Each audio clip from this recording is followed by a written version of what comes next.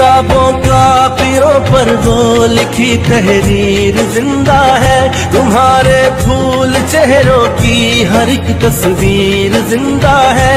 अदू का काट कर रख दे, वो शमशीर ज़िंदा है। बुलाया है हमें जिसने, उसे अब हम रुलाएँगे बुलाया है हमें जिसने, उसे अब हम